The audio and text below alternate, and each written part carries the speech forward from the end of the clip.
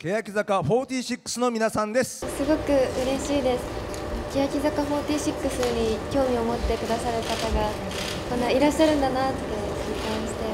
本当に感謝の気持ちでいっぱいです。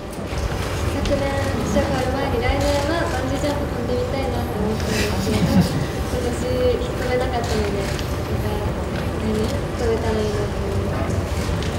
グルメとかの情報人が多くてそれでメンバー同士でこういう体験やってるんだってかそのお話とかちょっとニュースサイトで情報を得てます。